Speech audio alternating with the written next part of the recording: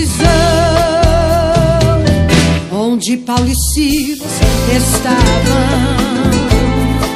e muito menos soltar as correntes que os aprisionavam.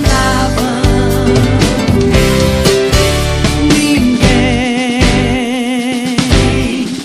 o impediu de entrar dentro da fornalha e passear no Ninguém. O impediu de entrar dentro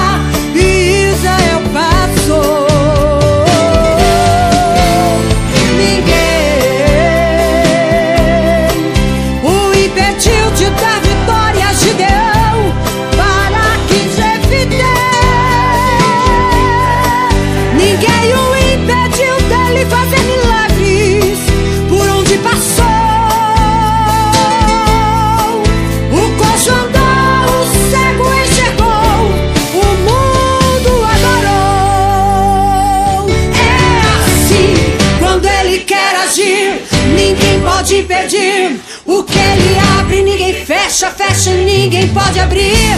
Quebra o arco, corta a lança, queima os carros no fogo. Pra mostrar o seu poder e dar vitória ao seu povo.